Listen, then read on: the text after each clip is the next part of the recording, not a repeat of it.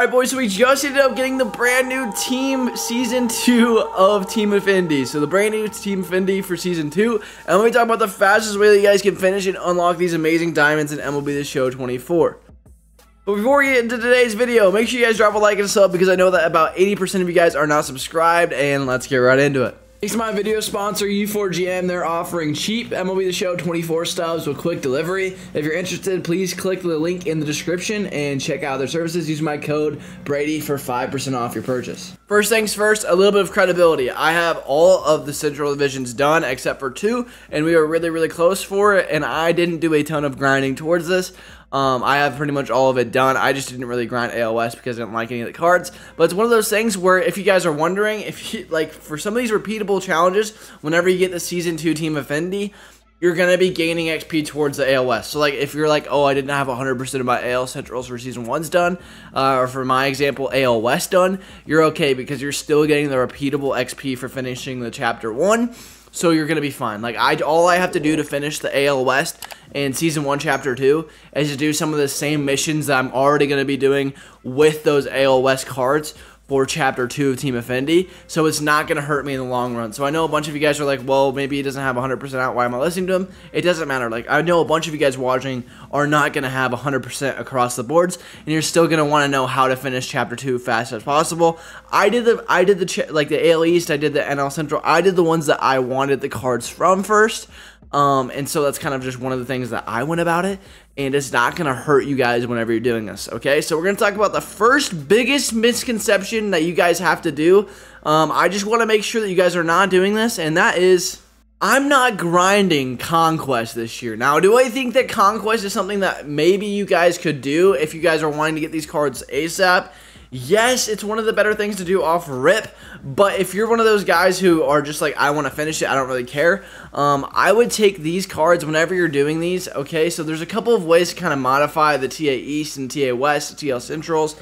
Um, this is how you're going to do it to get it fast as possible. Whenever you're grinding one of these conquests, what you're going to want to do is you're going to want to buy a full live series team of Central players or a full live series team of West players, East players, etc. So that's going to be how we are doing these. Um, I don't think that you necessarily have to do it, but if you guys want to do the team Affindities, make sure you're using a full lineup stacked as as possible with those cards from that division. So if I'm going after Central cards, I'm making a full team of Royals, Cardinals, uh, Tigers cards, all sorts of guys like that. And I'm just making sure that my starting nine, especially my pitcher, because those are the easiest to get XP, that I'm grinding through a lineup with that. So I'm getting the hits repeatable missions, I'm getting the innings repeatable missions, I'm getting the parallel XP with these players. Uh, those type of missions, and you're just kind of stacking those up and up and up. And one way that I also got these done really quick as I grind it, it's just playing like Battle Royale. There's a new BR program that just came out today, and it's really good. You can make a ton of stubs by grinding the whole thing. But whenever you're doing that, you're going to be getting a ton of parallel XP towards these Central, East, and West cards, okay? Because of the repeatable XPs, because of the strikeouts of people from those divisions. If you want to grind repeatable missions, you might as well just be playing Battle Royale. And so that's kind of one of those things where I did, uh, I did, I did, I think I did, uh, I didn't even do a single one of these. Um, Conquest, I don't think that you necessarily need to do them, and I still finished 100% of the way just by playing Battle Royale and grinding other programs. So don't think that you have to just sit there and offline grind whenever you can be getting progress towards the west, the central, and the east by just playing something else like the battle royale where you're getting the program from there. Um, you're getting all those diamonds that just came out and you're getting all those golds. And if you're selling those cards you're making a ton of stubs off rip I would recommend going about it this way, okay, boys? I would recommend, however, whenever you're grinding Team Affinities, I would do the moments. The moments are so easy, and they give you 3,000 a pop, and it can be the difference. I like doing them personally, so like uh, Pudge puts on the show, that's literally just hit a homer or two doubles, um, one extra base hit. Like, these are not hard. They're on veteran difficulty. They are freebies. Make sure you do the central moments because they're really helpful.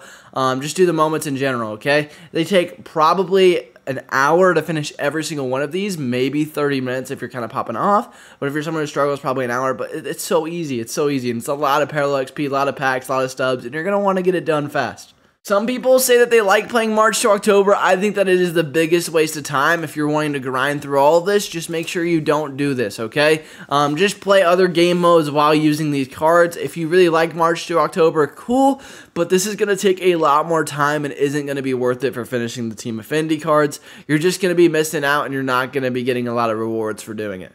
Other than that, I can kind of drag this video out. If you want to do exchanges, there's ways to do it by value. Make sure you go for some of those newer cards that just came out and had the lower rounds, like the Kyle Lewis cards like that. I would exchange those cards to get the Team Affinity cards if you're going to buy your way up. But there's no reason that you need to do that. Like, if you're thinking, oh man, I'm going to have to spend a lot of stubs to end up getting this program fast so I can get these cards. I mean, if you really want to, you can, but I don't really think it's worth it. Let's not waste our stubs on that because getting stubs are, it's just crazy right now. I mean, they're putting so many stubs in these card packs and it feels like the MLB The Show 19 all over again where they just, all these cards were not very free to play and now they're starting to kind of get their money up.